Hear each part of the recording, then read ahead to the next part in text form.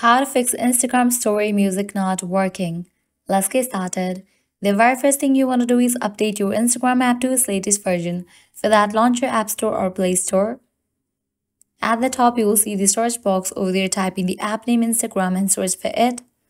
Once app appears at the right corner of the app, you'll find the option of Open or Update. If you find the option of Update over here, just click on it and update the app to its latest version. Then you can check whether your problem has been solved or not. Heading towards next solution, launch your Instagram app. Make sure you have already logged into your account. You'll land to the home page. Now navigate to your profile page. Then click on three bars given at the top right corner. Now in this page, you're going to find different sections. Under For Professionals, you'll find the option of Creator Tools and Controls. Open this option. Click on the option of Switch Account Type. Set it to Personal Account. Click on Switch to Personal Account. This might fix your problem.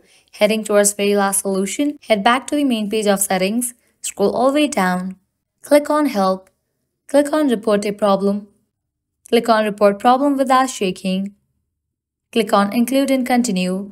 Now here you have to explain about the issue that Instagram story music is not working. Once you type in that, you can send it. By applying all these solutions, your problem will be fixed. Well, this is how you can easily fix Instagram story music not working. At the end, if you guys find this video helpful, don't forget to like, share and subscribe to our channel. Thanks for watching.